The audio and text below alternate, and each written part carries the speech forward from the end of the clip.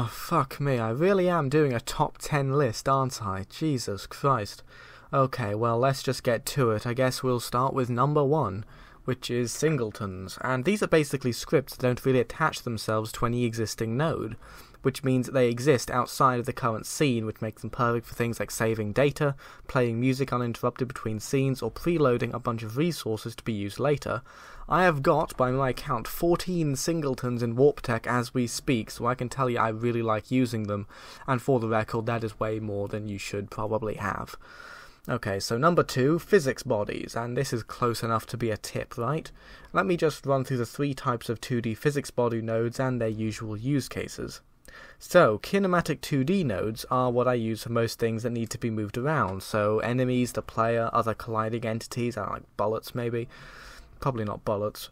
Um, rigid body 2D nodes are good for physics based movement, so if you wanted some boxes for a puzzle game that move and fall like real boxes would, then you'd want to know, uh, or you'd want to use rigid body 2Ds. Or you could use kinematic body 2D, but then you'd have to program all the physics stuff yourself, and that's generally not so fun.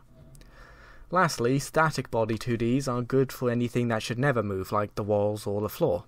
Easy enough, but it's good to know the differences between them. Number 3, uh, adequate for number 3, is the ternary operator. Uh, now, most programming languages have this one, and it's the question mark in C++, and in Python it's just the thing, if, condition, else, other thing. In GDScript it is the same as in Python, as most things tend to be, and it's super useful. I realize it's much nicer to just use this simple ternary operator on one line rather than dedicating four lines to an if-else block. Now, number four. Here's a much more functional tip, and it's based off something I actually do in WarpTech. Use a singleton script to preload all of the resources you need to use in the game uh, to speed up in-game performance. This way, if you want to instance a node, you just reference its entry in the monolithic resource script and instance it from there. It has, in my experience with preloading over 100 objects, maybe 150 even, made the game start up maybe half a second slower, but it drastically reduces lag spikes uh, that stem from having to repeatedly load or preload resources, such as when you're spawning a big blast of 30 to 40 bullets. Number 5. Specifying neighbors in control nodes. So, have you ever run into the issue where you want a menu to be usable with the arrow keys or a D-pad, but Godot just won't direct to the buttons in the proper order? Well, I haven't really, because I haven't really considered keyboard accessibility until basically making this list. But there is a really neat solution to this problem. So any control node will have the focus category, and you can see there are a few properties like neighbor left, neighbor right, neighbor down, whatever. Uh, they basically determine what happens when this button is focused and the specified key is pressed. So, in case this explanation wasn't perfectly clear, I won't go into too much detail. Um, I'd just say play around with it because it is a really simple concept and it's implemented really, really well.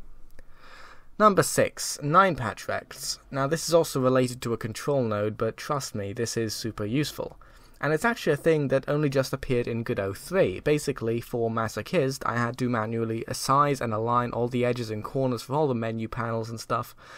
For WarpTech, however, I've specified a 3x3 grid of what each corner, edge, and middle piece should look like, uh, loaded it into a 9-patch rect, and all you have to do is resize it and it'll automatically scale or tile the corresponding parts of the graphic to fit a size you're choosing.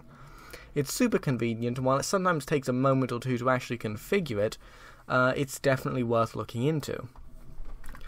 Number 7. Have you ever had that issue where you're cooking pasta for a while and you stir it, but you're kind of impatient and you think, well, this is probably good enough?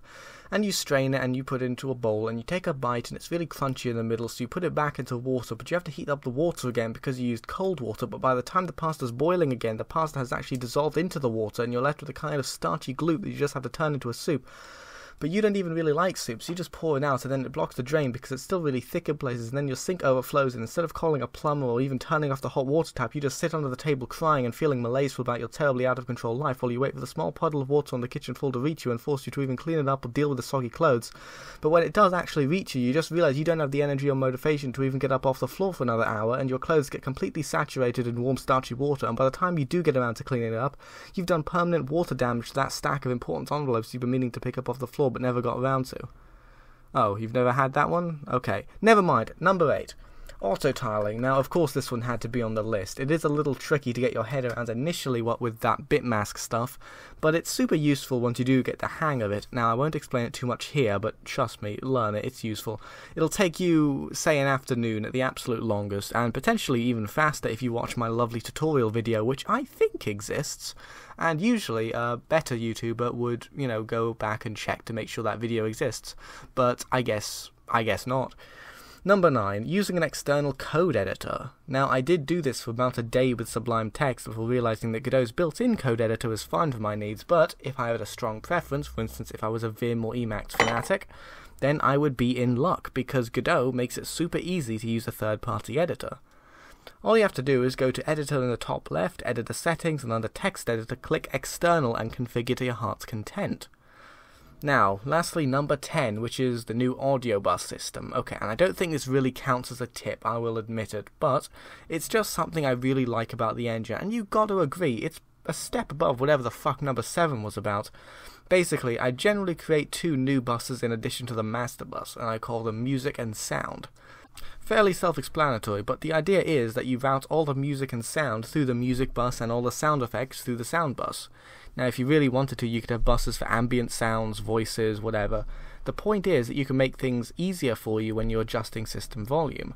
You can make a nice volume slider that directly adjusts the volume of the music bus and another co that corresponds to the sound bus. Now, this stops you from having to save another variable like music volume and refer to it from any time you want to play some music. Anyways, that's about all that I've got for today. If you have any more interesting things about the engine that you think I and the world should know about, for real, let me know in the comments. I'm still learning stuff, and everybody watching my channel is still learning stuff, so keep it coming, kids. Uh, thanks for watching, and stay tuned for more top 10 lists, maybe. Uh, I guess probably not, though, because this was a pain and really long to write, so goodbye. Alright, so because I can't remember to self-promote to save my life, I have to add this bit on the end separately, so feel free to like the video, subscribe to the channel, or leave a comment, do all that stuff that's good for the YouTube algorithms and by extension me. Also, I have a Patreon, so you can get beta copies of Warp Tech for only $1 a month if you so desire. The link to that is, of course, in the description, you complete and absolute gremlin people.